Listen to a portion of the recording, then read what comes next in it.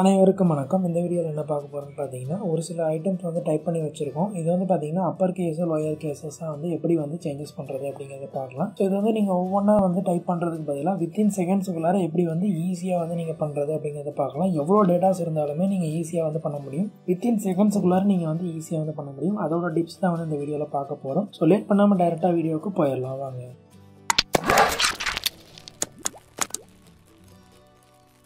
So இப்போ வந்து பார்த்தீங்கன்னா ஒரு சில ஐட்டம்ஸ் வந்து நான் டைப் பண்ணியிருக்கேன். அது கேப்ஸ்லேயும் இருக்குது ஸ்மால்லேயும் இருக்குது ஸோ அப்பர் கேசஸ் இருக்குது லோயர் கேசஸ் இருக்குது so full and full upper cases வேணும் அப்படின்னா நம்ம வந்து T O M A T O அப்படின்னு கேப்ஸ் கேப்ஸ் ஆன் பண்ணிவிட்டு நம்ம வந்து பண்ணுவோம்.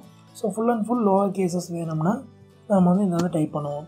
இந்த மாதிரி ஒவ்வொன்றுக்குமே வந்து அப்பர் கேசஸ் வந்து நம்ம போட்டு மறுபடியும் டைப் பண்ணணும். லோயர் கேசஸ் போட்டு நம்ம டைப் பண்ணணும். இந்த மாதிரி டைப் பண்ணணும்னா ரொம்ப லேட் ஆகும். இந்த மாதிரி லாங் டேட்டாஸ் இருக்கிறப்போ வந்து உங்களுக்கு ரொம்ப லேட் ஆகும். இப்போ இது இப்போ யூஸ் இல்லைனாலும் தெரிஞ்சு வச்சுக்கோங்க எப்போயாவது ஒரு தடவை கண்டிப்பாக யூஸ்ஃபுல்லாக இருக்கும். வித்தின் செகண்ட்ஸ்க்குள்ள எப்படி வந்து இதை நம்ம டைப் பண்ணுறது அப்படிங்கிறத பார்க்கலாம். போல் மேலும் வீடியோஸ்க்கு வந்து என்னோட சேனலை சப்ஸ்கிரைப் பண்ணிக்கோங்க. கூடவே ஒரு பெல் சிம்பிள் வரும் அதையும் ப்ரெஸ் பண்ணிக்கோங்க. ஸோ இப்படி பண்ணாமல் நம்ம வந்து ஈஸியாக பண்ணுறதுக்கு என்னென்னு பார்த்தீங்கன்னா நீங்கள் ஒரே ஒரு ஒரே ஒரு டேட்டாஸ் மட்டும் டைப் பண்ணுங்கள் இப்போ டொமேட்டோங்கிறத T O M A T O அப்படிங்கிறது கேப்ஸ் ஆன் பண்ணி வந்து டைப் பண்ணிக்கோங்க. ஸோ கேப்ஸ் ஆஃப் பண்ணிவிட்டு T O M A T O அப்படிங்கிறத வந்து டைப் பண்ணிக்கோங்க.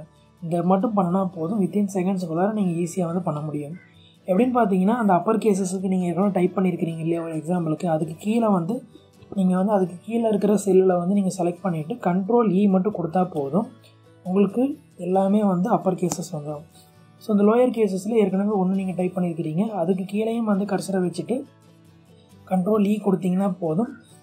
உங்களுக்கு வந்து எல்லாமே ஸ்மாலர் கேசஸ் வந்து வந்துருச்சு. ஸோ இந்த மாதிரி வித்தின் செகண்ட்ஸுக்குள்ளார நீங்கள் ஈஸியாக வந்து இந்த மாதிரி பண்ண முடியும். ஸோ இந்த டிப்ஸ் ரொம்பவே யூஸ்ஃபுல்லாக இருக்கும்னு நினைக்கிறேன் உங்களுக்கு. இந்த டிப்ஸ் உங்களுக்கு பிடிச்சிருந்ததுன்னா அந்த வீடியோ லைக் பண்ணுங்கள் பிடிக்கலனா டிஸ்லைக் பண்ணுங்கள் உங்கள் ஃப்ரெண்டுக்கு தெரியணும் விருப்பப்பட்டீங்கன்னா ஷேர் பண்ணுங்கள் ஸோ இதே போல் நிறைய வீடியோ வந்து என்னோட சேனலையும் இருக்குது அதையும் வந்து விசிட் பண்ணி பாருங்கள் நம்ம அடுத்த வீடியோவில் சந்திக்கலாம். Thank you bye